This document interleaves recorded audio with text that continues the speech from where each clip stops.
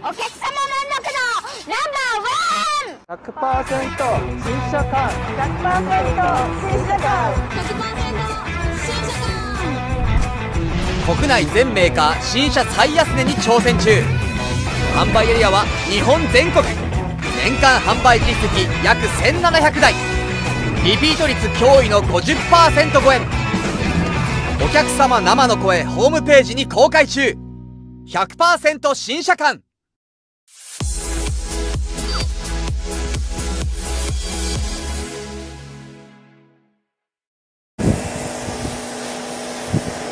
いつも新車館チャンネルをご覧いただきありがとうございます。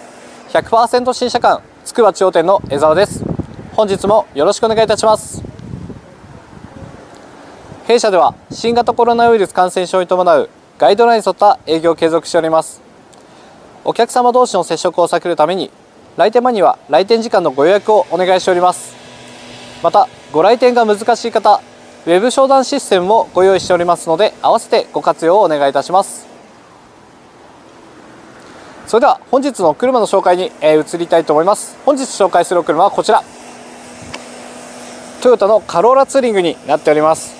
でこちらトヨタカローラツーリングですね。1.8ハイブリッドの、えー、ダブルバイ B になってます。はい。ではちょっと一旦ですねフロントのマスク移していただきたいと思います。でこちらダブルバイ B ですね、えー全長の方が4495で全幅が1745で前高が1460の、えーお車になってます。で前高の方がですね1460ということであのだいぶ低いんですよね。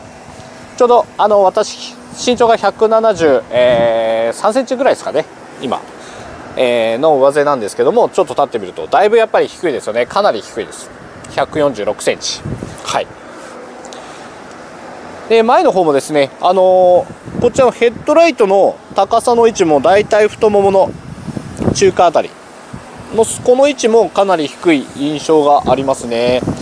でなんといってもカローラツーリングで特徴的なのはこちらの台形のグリルです。こちらのグリルです。でブラックになってるんですけどもまあピアノ調のブラックのようなツヤのあるお色になってます。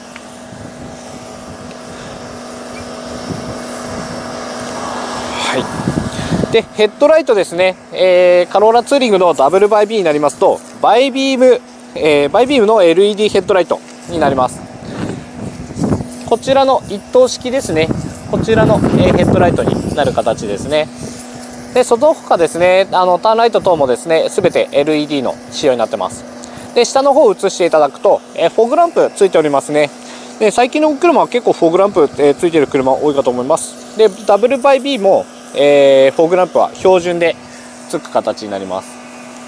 でこちらですねメッキベゼル付き。こちらのサイドのですねメッキベゼル。こちらの方が、えー可色として加わってまいります。ではそのままサイドの方も、えー移行していきます。ではまずサイドの方ですね。タイヤですね。こちら。ダブルバイ B 専用のアルミホイールになってます。でこちらサイズが17インチの、えーアルミホイルになっております。で、えーお色がですねダークグレーメタリックダークグレーメタリック塗装になってます。もうシルバーの加飾は一切入ってないですね。もうオーナメントのこの部分だけです。トヨタのマークのとこだけです。もう他は全て、えーダークブラック、えーメタリックですね。なっております。まあ、車体がですねホワイトパールクリスタルシャインなので、あのーかなりですねマッチするカラーになってます。で同じくドアミラーのこちらですね。も、えーダークブラックの塗装になっております。はい。まあサイドの方もですねちょっと見ていただいてまあかなりあのー流れるようなタイプの、えー線を描いている車体になってますけども、まあ、後ろの方もですねあの若干あの斜めになっていますので、まあ、ラゲージの方もですね若干あの高さのあるものはちょっと手前には乗せれないかなっていう印象ですけどあのこのスポイラーの部分だったりとかかなりかっこいい仕様になってます。じゃあちょっとですね一度ラゲージの方もですね確認していきたいと思います。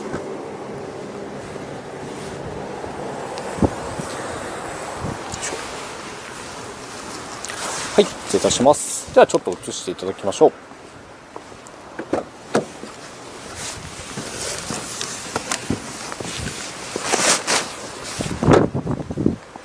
はい。でこちらですね、あのーちょっとラゲージのマットですね、こちらディーラーオプションのラゲージマットになってます、カローラツーリング、記載ありますね。はい、でこちらの方はまあ防水タイプになりますので、あのアウトドアとかキャンプ、えーそういったものですね、汚れ物もかなり乗せれると思います。で、汚れてもあの水洗い簡単にできますので、大変便利なディーラーオプションになってます。で、ちょっと下の方を覗くと、こちらの方がですね、パンク修理キットの収納になってます。なので、あのラアンダーラゲージとしては、えー荷物の収納はできませんけれども、まあ、こちらの方でですね、あの広々とした、えー収納の方ができるかなと思います。でなんといっても、両サイドがですね、ちょっと見ていただくと、あのくぼみ、意外とここの空間が広く取られているので、あの長尺物もですね、あのゴルフバッグはもう全然入れられちゃうサイズになってます。まあ、荷物収納としてはかなりあの十分かなというとこですね。ただ、まあ、あの子育て世代としては、まあチャえー、とベビーカーですね。ベビーカーあたりだと、まあ、小型のものはあの乗せれるかなとは思うんですけど、まあ、他のお荷物等々もあると思うので、ちょっと救急になるかなという印象です。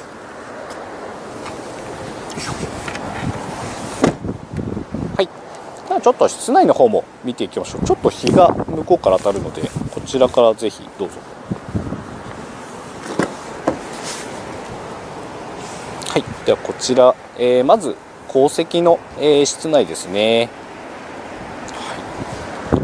かなりシートの感じも、えーいいかなと思います。で今運転席をあの一番後ろに下げているので、ちょっと前にずらします。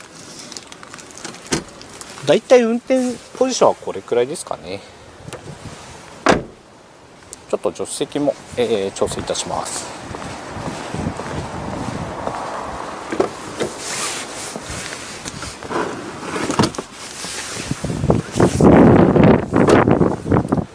ちょっと私も実際に乗り込んでみますね。よ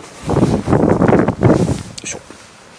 じゃあちょっと靴を脱いでお邪魔いたします。おっとっとっと。よいしょ。はい。まあ室内はこういった具合になってます。まあやっぱりちょっと若干後ろの方が下がり気味。で前の方がですね上がフロントの上は若干なんていうんですかね上にくぼんでるので後ろよりもあの若干上が高さが出てます。まあただ窓がこれくらいあのしっかり取れてるのでそこまでの圧迫感っていうのはそこまで感じないですね。で質感がかなりかなりいいので、まあ、座座面ですね。こちらもあのハーフレザー使っておりますし、えーまあ、ドリンクホルダーも、えーしっかりとついていてしかも質感がいいですよね。そちらもブラック基調でかなりいいかなと思います。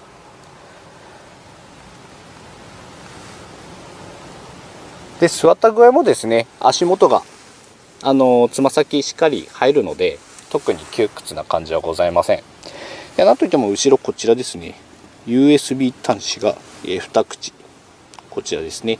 あとこちら、えーメイクオプションですね、はい、1500ワットの、えーコンセントですね。こちらの方がついてます。はい。でこちらのコンセントですね使うのにあのフロントでボタンを、えースイッチを入れとかないと使えないのでいつでも使えるわけではないのでご注意ください。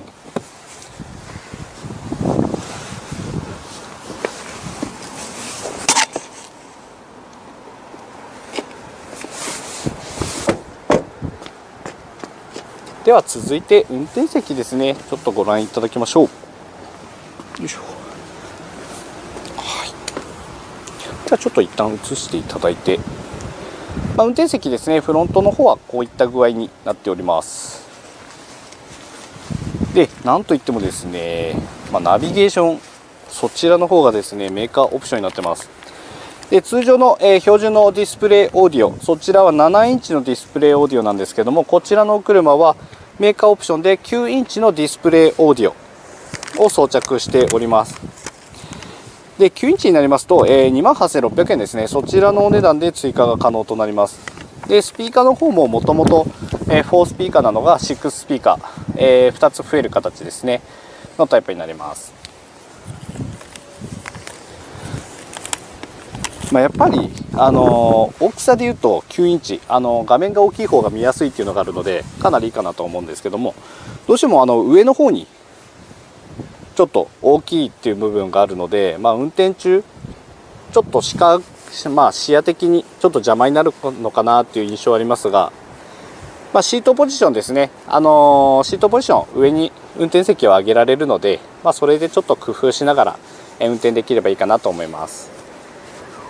はいでまあこの他にもですねあのいろいろとあの装着あのメーカーオプションで付けれるオプションもございます。あのヘッドアップディスプレイですね、まあ、ちょうどあの前の方にフロントの窓に、えー、投影させるスピードメーター等ですね投影させるもの。でそちらのカラーあごめんなさい。ヘッドアップディスプレイ。そちらに関してはあのナビキットそちらと連動してルートの案内もフロントガラスに投影してくれますのであのかなり、えー、便利な機能になっていると思います。で昼間でもあの視認性の高い、えー、投影方法になってますのであの見づらいとかっていうのは、えー、あまりないです。はい、はい、ありがとうございます。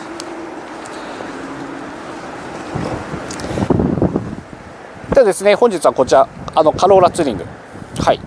あの入庫してきましたのでこちらのご紹介の方させていただきました。で弊社ですねあのお正月終わりまして2月に入ってですねあのただいま大決算もう決算キャンペーンの方やっております。で弊社ホームページにですね、まあ、即の特選者0.9%あの継続してやっているんですけれども、まあ、またそちらも条件と、えー、若干えー、変更もございますのであのしっかりと事前にご確認いただければと思います。でごめんなさい。ちょっとツーリングの方はですね今入っておりませんけれどもあの他の車種さまざま0.9%の車種がご用意でできておりますので、えー、ぜひ、えー、ご検討の方ですねご確認いただければと思います。